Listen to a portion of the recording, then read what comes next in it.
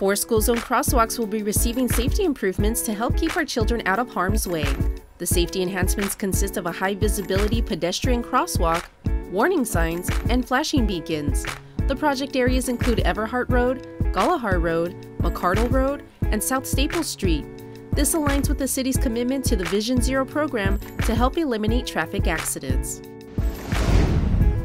The council approved the purchase of 24 battery backup systems for traffic signals throughout the city. The battery backup systems can supply power to a traffic signal for up to six hours. These systems provide uninterrupted power, maintains the timing and cycling of the traffic signal lights, and communications with the Traffic Management Center. And Solid Waste Services will soon have an additional vehicle for hauling waste. The City Council approved $50,000 for a transfer trailer for hauling waste from the J.C. Elliott Transfer Station to the Cefe Valenzuela landfill. For more council approved items, visit our YouTube channel to watch the entire City Council meeting.